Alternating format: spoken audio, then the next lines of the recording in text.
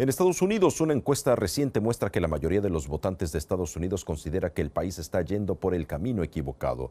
El sondeo patrocinado por News Nation partía con el objetivo de conocer la opinión de los americanos sobre el crimen de cara a la campaña de Navidad.